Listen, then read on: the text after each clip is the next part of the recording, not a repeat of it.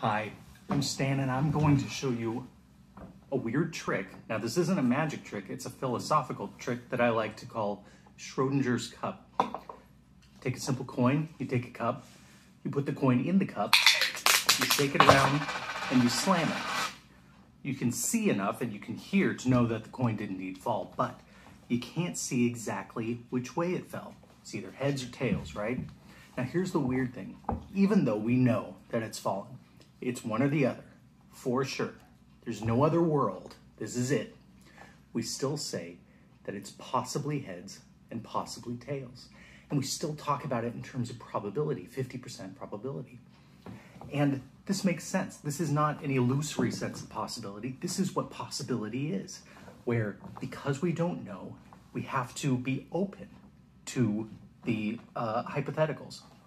If we were playing a gambling game where we flipped a coin and we were making decisions about how to bet based on the result of that coin, flipping a coin in five seconds is equivalent to raising this cup in five seconds. It's the same thing.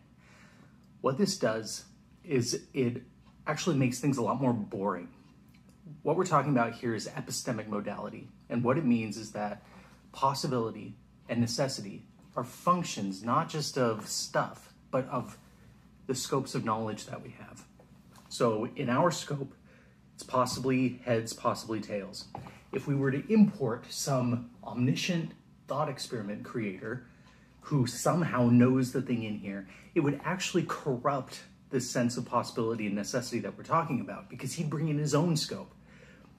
That's not what we would be talking about. So oftentimes you'll see uh, thought experiments doing that kind of thing.